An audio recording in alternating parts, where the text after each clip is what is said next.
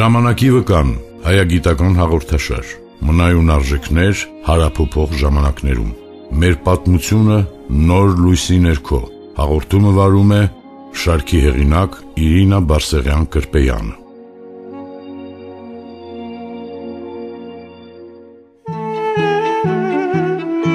Կոմիտաս 145 թեմայի շրջանակում այս հաղորդաժամին առաջարկում եմ ծանոթանալ Կոմիտասի ամենասիրելի սաներից մեկի՝ Վահան Տեր Արաքելյանի կյանքին եւ գործունեությանը։ Թողարկմանը մասնակցում է Վայոց ձոր մարզի Եղեգնաձորի երկրագիտական թանգարանի ֆոնդապահ Լաուրա Գևորքյանը։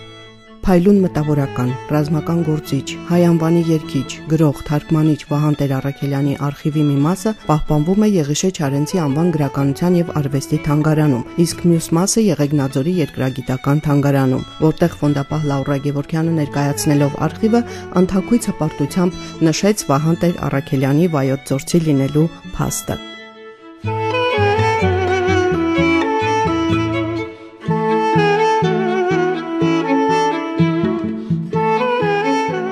Վահան Տեր Արաքելյանը ծնվել է 1883 թվականի օգոստոսի 24-ին, որոշ տվյալներով 1886-ին։ Դարալագյաս այժմ Վայոց ձորի Մալիշկա գյուղում հոգևորականի ընտանիքում։ Սկզբնական կրթությունը ստացել է հայրենի գյուղի տարական կրթարանում, այնուհետև երկու տարի սովորել է Զնաբերդ գյուղում մի ճանաչված ուսուցչի մոտ։ Դեռ մանուկ հասակից Վահանը աչքի էր ընկնում իր ընտունակություններով եւ ախորժալուր ձայնով։ Տակավին պատանինը հայրենի գյուղում արդեն ճանաչված երկիչ էր եւ նրա հայրը Վահանին քահանա դարձնելու մտադրությամբ տանում է Էջմիածին ուսումը շարունակելու։ 1901 թվականին Վահանը ընդունվում է Գևորքյան ճեմարան։ Կարճ ժամանակ անց նա աչքի է ընկնում որպես փայլուն ուսանող։ Հատկապես երկեցողության մեջ այնքան է առաջադիմում, որ դառնում է Կոմիտասի սիրելի սանը եւ նրա երկչախմբի մեներքիչը։ Կոմիտասն ինչպես Հայաստանի տարբեր գավառներից եկած իր սաներին, այնպես էլ Վահանին հանձնարարում է գրի առնել Վայոց ձորի ժողովրդական երգերը եւ իր հետ բերել Էջմիածին։ Վահանը հմտորեն կատարում է ուսուցչի հանձնարարությունը։ Նա Կոմիտասի երգչախմբի հետ շրջագայում է Անդրկովկասի գրեթե բոլոր քաղաքներում։ 1905 թվականին Թիֆլիսում Կոմիտասի երգչախմբի համերգը Փարքով է պսակում Վահանի անունը։ Վահան Տեր Արաքելյանը ոչ միայն Կոմիտասի խմբի մեներքիչն էր, այլև շատ երգերի առաջին կատարողը։ Երբ Կոմիտասն ավարտում էր որևէ երգի վերջնական մշակումը, առաջին կատարման իրավունքը վերապահում էր Վահանին։ Վերջինս մի տեսակ վերջնական սրբագրողի եւ փորձարկողի դեր էր կատարում։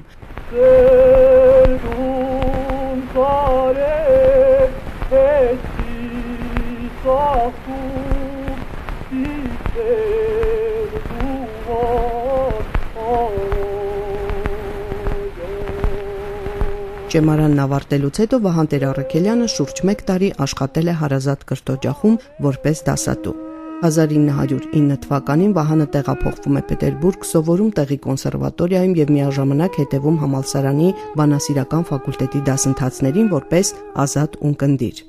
Այս տարիներին նա երգում է Մարիինյան թատրոնի, ինչպես նաև հայկական եկեղեցու երգչախմբում։ Կոնսերվատորիայի լրիվ դասընթացը չավարտած Վահան Տեր Արաքելյանը զորակոչվում է բանակ եւ սովորում սպաների արագացված դասընթացներում, ստանում կրծեր ենթասպայի կոչում։ Ամբողջ առաջին աշխարհամարտի ընթացքում երգիչը մարտնչում է տարբեր ռազմաճակատներում, սկզբում Արեմտյան 1914-ից 15 թվականներին, այնուհետև Կովկասյան 1915-ից 17 թվականներին, կրծեր ենթասպայից հասնելով գնդապետի աստիճանի։ Սկսվեց առաջին համաշխարհային պատերազմը գնաց եւ փայլեց այնտեղ որպես զինվորական գործիչ։ 14-ից 15 թվականին եղել է Արեմտյան ռազմաճակատում, 15-ից 17 թվականներ արդեն Կովկասյան ռազմաճակատում, որպես հայրենեսեր է հանդես եկել եւ կրծել լեյտենանտից գնդապետի կոչում է ստացել եւ ստացել է բավականին շատ պարգևներ։ Սուրբ Հաննայի 4-րդ, 3-րդ, 2-րդ հաշճան իշխանշան, Սուրբ Գևորգ 4-րդ, 3-րդ, 2-րդ, Սուրբ Վլադիմիր 4-րդ հաշճան, Սուրբ Ստանիսլավի 2-րդ աստիճան։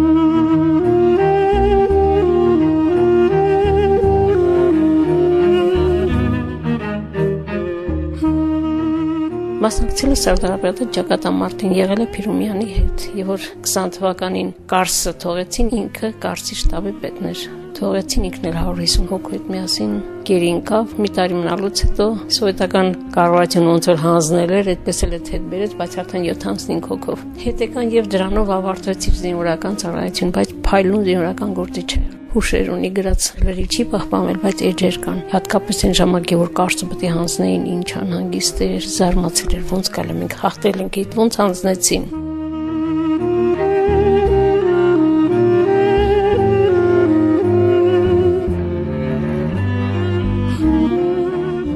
1917 թվականի վերջին Վահանը գործողվում է հայկական բրիգադի շտաբ։ Հայ ազատագրական բանակի կազմում մասնակցում է Սարդարապետի ճակատամարտին։ Հայաստանի Հանրապետության ստեղծումից հետո գնդապետ երկիչը ստանձնում է Կարսի ռազմաճակատի շտաբի պետի պաշտոնը։ Այդ ժամանակ Բերթի Պարետը եւ ռազմաճակատի հրամանատարը Սարդարապետի հերոս Դանիել Բեկ Փիրումյանն էր։ 1920 թվականի աշնանը քեմալական Թուրքիան բոլշևիկյան Ռուսաստանի թողտվությամբ եւ ռազմաքաղաքական օժանդակությամբ հարձակվում է Հայաստանի վրա նպատակ ունենալով հայերին բնաջնջել նաեւ Արևելյան Հայաստանում։ Հայ բոլշևիկների դավադրական եւ քայքայիչ գործողությունների հետևանքով անառիկ Կարսը անznատուր է լինում թուրքերին։ Կարաբեկիր Փաշան քարապատիկ փոքրաթիվ ուժերով առանց գրակոցի գրավում է Կարսը եւ գերում հայ սպաներին, թվով 150 հոգու, այդ թվում Վահան Տեր-Առաքելյանին եւ Դանիել Բեկ Փիրումյանին։ Վերջինիս բոլշևիկները կարկով վրաերթի էին ենթարկել Բերթի հանձնման նախորյակին, ջարդելով նրա ոդկը։ Վահան Տեր-Առաքելյանը երբեք չհեռացավ հիվանդ հրամանատարից եւ ամբողջ ընթացքում նրա կողքին էր։ Նա քաչ տիրապետելով թուրքերենին շահում է թուրք հսկիչների բայրացակամությունը եւ օգնում իր գերիալ զինակիցներին։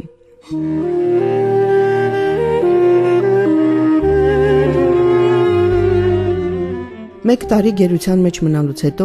150 հայ սպաներից միայն 74-ին է բախտ վիճակվում ողջ վերադառնալ հայրենիք։ Այսպես ավարտվում է Վահան Տեր Արաքելյան երկչի զինվորական ոդիսականը։ 1921 թվականին գերությունից վերադառնալուց հետո Վահան Տեր Առաքելյանը բնակվում է Թբիլիսիում եւ աշխատանքի անցնում Մարտակոչ եւ Պրոլետար թերթերի խմբագրություններում որպես գրական աշխատող։ Մինչ այդ 1999-ից 1910 թվականներին նա աշխատակցել էր Համբավաբեր թերթին հանդես բերելով հմուտ լրագրողի իր ունակությունը։ Թարգմանությունները Աննա Կարենյան, Բջիջը, Ես այրում եմ Փարիզը, Տիսամբոցերի մեջ, Լուիզիտ, Քաջ զինվոր շվեյկա արկազներ, որը հետագայում մի ուրիշն էլ թարգմանեց, բայց իր թարգմանություն շատ հետաքրքիր է։ Վասկի ընթացքում Պուշկին, Գորկի, Եսենի, Մայկովսկի բանստեղծների թարգմանություններ, անգամ հնդկական Այդ ընթացքում ինքը ցանոթությունները հաստատ ինչպես ասի կոմիտասի եւ կոմիտասի միջոցով արդեն Թումանյանի, Չարենցի, Որտանես Փափազյանի, Հովանես Հովանեսյանի, Ծատուրյանի մասին ինքը ուշեր ունի գրած Իսահակյանի հետ կապված, Թումանյանի հետ եւ կոմիտասի հետ կապված։ Իրե մասին էլ են գրել, բայց ինքն էլ այրանց մասին գրել։ Շատ գեղեցիկ միտք ունի, ստեղծագործելու ձիրք ունեցել։ Հետո դե 37-ական թվականներն էր, ոնց որ կապված Աղաս Խանջյանի հետ, եթե չեմ սխալվում։ Նրա հետ կապված մեղադրեցին բանտում տուբերկուլյոզով հիվանդանում եւ մահանում է։ Հետագայում հետ են բերել հաճուն եւ թաղել Երևանի Պանթեոնում։ Ամուսնությունից ինքը երեխաներ չի ունեցել, երկու որդեգիր երեխա ունեցել, որ իրեն շատ սիրել են գնահատել, շատ են իր մասին գրել, նաեւ աղավաղել են իր արած կոնկրետ այդ որ գերիա ինքել պատմեն թե ինչպես իր երկով կարողացավ ամբողջ էշելոնը ազատել չթոնել կոտորեն տղան հանդես եկավ ասել դա այդպես չի իսկապես փրկել է բայց ոչ թե երկով ինքը շատ թուրքերն այն մացել Երբ որ 150 հոգ գերին տանում են թուրքերի այդ մեջ խոսում են թե սանց տանում ենք ինչ անենք բեր այստեղ սպանենք ով մեզանից հաշիվ կպահանջի եւ որ հասկացել ասա դուք իրավունք չունեք դուք զինվորական եք դուք պետք է կատարեք ձեր վերադասի որոշումները պատերազմը չի թողել սպանը այդպես է փրկել ինքը բայց նա հրաշալի երկել է ես մոտ պահպանում մի քանի երկ ընդամենը ես բարենք ու գայի դունդուրը վասի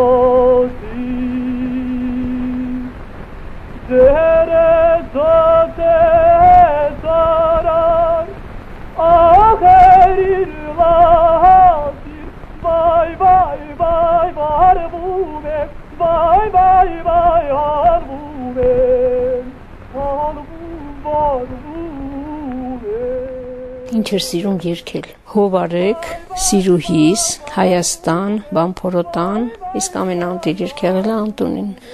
Բարձր գեղեցիկ ձայն, անգամ կոմիտաս ասում, որտեղից ես, որ ասում է վայոց ձորից, ասում վայոց ձորի լեռնային արծիվ Սայատնովայի նկարված երգերն են եւ առաջին էջում գրված էր Վահան Տեր Արաքելյանի երգած երգը դա 30-ական թվականներ էր որ նոր ենք սկսել հավաքել այդ ֆոնդը վախենում էինք կգնա կգորի մի ուրիշը հայտնվեց հավաքեց եւ չհասավ թանգարան մեր թանգարան ամեն դեպքում պահվում են Չարենցի անվան գրականության թանգարանում մեծ ֆոնդ ունի Թբիլիսիում կա սկի չգիտենք այդ ֆոնդի վիճակը դեռ ինչ են արել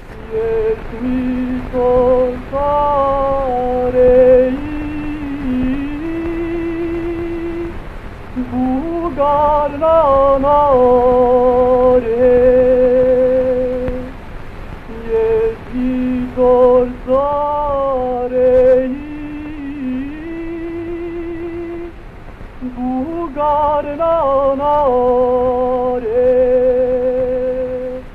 Վահան Տեր Արաքելյանը նաև ստեղծագործում էր գրում արցակ եւ չափածո ստեղծագործություններ։ Նրա արցակը իր գեղարվեստական մակարդակով գրեթե չի զիջում Ստեփան Զորյանի, Դերենիկ Դեմիրճյանի, Նայիրի Զարյանի հին կյանքը դատապետող եւ նորը փառաբանող ստեղծագործություններին։ Վահանի գրչին են պատկանում նաև Քյորողլի օպերայի լիբրետոն, ինչպես նաև նրա թարգմանությամբ Չիո Չիոսան օպերայի լիբրետոն։ Վահան Տեր Արաքելյան գրքի հեղինակ Խաչիկ Սաֆարյանը գրում է. «Ցավով պետք է նշել, որ Լև Տոլստոյի երկերի հայերեն 10 հատորյակի հրատարակողները Աննա Կարենինա վեպի թարգմանչի Վահան Տեր Արաքելյանի անունն անգամ չեն համարցակվել հիշատակել։ Այս փաստն իսկ վկայում է, թե որքան հետևողական է եղել հալածանքը հայ մտավորականների հանդեպ, նույնիսկ նրանց մահից տարիներ անց։ Թիֆլիսում զբաղվել գրական գործնեությամբ, գիտաշատ է եղել թերթերում, սկսել գեղարվեստական հոդվածներ թատրոնի վերաբերյալ ու թարգմանություններ։ Հրատարակել է Գրազը դեպի նոր կյանք, Կարմիր դրոշ, Ների ծնունդը, Անմահ կայծեր, Թալանի վանքը, Կատնախբի ու ստեղծագործությունները անտիպեն, Կնուր ծնունդը, Ասվածներն էլ չգիտեն, Մի գիշեր Սևանում, ինչ շատ դուր է եկել իր բանստասների ժողովածուն համեր մրմուշներ, շատ գեղեցիկ ստեղծագործություններ են, շատ նման է Թումանյանին։ Բանստասներ կան Թումանյանիկն ասել է ես սիրով իմ անունս կդնեի բանստասների տակ։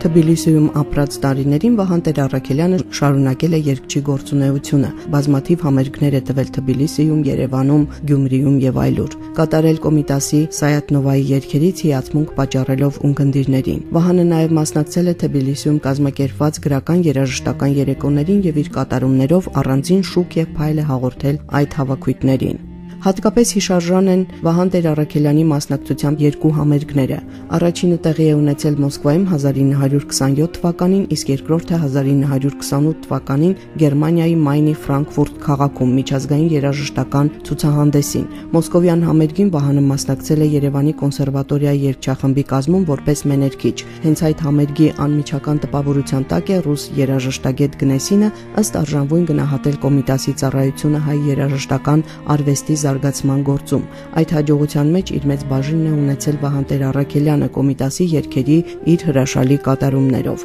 Գերմանիայում տեղի ունեցած համերգը նույնպես անցել է մեծ հաջողությամբ եւ Վահանի հիանալի կատարման մասին նշվել է Պրավդայում հրապարակված հաղորդագրության մեջ։ Վահան Տեր Արաքելյանի արվեստի ջերմ երկրպագուներից է եղել Եղիշե Չարենցը։ Մեծ բանաստեղծը աշտամունքի հասնող սիրով է սիրել Կոմիտասին եւ այդ սերը փոխանցվել է բոլոր նրանց, ովքեր կապված են եղել Կոմիտասի անձի եւ գործի հետ։ Այդ եզակի արժանավորներից է եղել Վահան Տեր Արաքելյանը։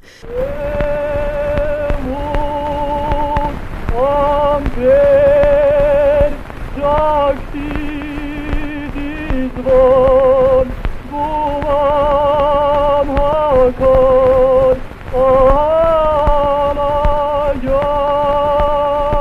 1935 թվականի աշնանը լուր է տարածվում, որ Փարիզում վախճանվել է Կոմիտասը։ Այդ լուրը խորապես հուզում է համայն հայությանը։ Բազմաթիվ տեղերում սքո երեկոներ են կազմակերպվում։ Նման մի երեկո է տեղի ունենում նաև Թբիլիսիի կոնսերվատորիայի մեծ դահլիճում, ուր հակիրճ խոսք է ասում Վահան Տեր Արաքելյանը։ Վերջում կոմիտասյան երկերի կատարումով հանդես է գալիս Հայկանուր Դանիելյանը։ Որքան էլ հանդիսատեսները խնդրում են Վահանը թեև բեմ է դուրս գալիս, սակայն մեծ վշտի ճնշման տակ մի տուն անգամ երկել չի կարողանում։ Ստիպված բեմից հնչեցնում են կոմիտասի եւ Վահանի զուգերքերի ձայնագրությունները, որոնք խորապես հուզում են ունկնդիրներին։ Դրանից հետո մի խումբ երիտասարդներ ուսերի վրա Վահանին բեմ են բարձրացնում, սակայն նա խնդրում է, որ ներեն իրեն։ Նման հոգեպես հուզված վիճակում ինքը երկել չի կարող։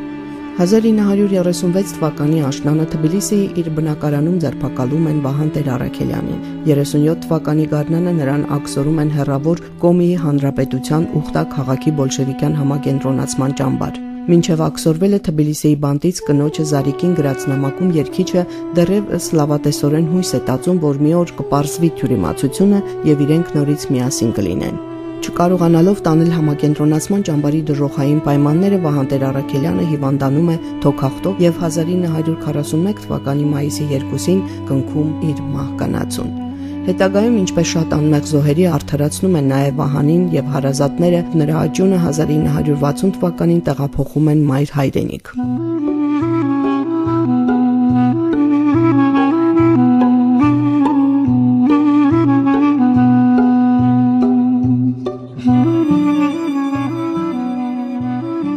ավարտվեց ժամանակի վկան հաղորդաշարի հերթական թողարկումը, որը նվիրված էր Կոմիտասի ամենասիրելի սաներից մեկին Վահան Տեր Արաքելյանին։ Հաղորդմանը մասնակցեց Վայոց ձոր մարզի Եղեգնաձորի երկրագիտական թանգարանի ֆոնդապահ Լաուրա Գևորքյանը։ Հաղորդումը պատրաստեց եւ արեց Իրինա Բարսեղյան Կրպեյանը։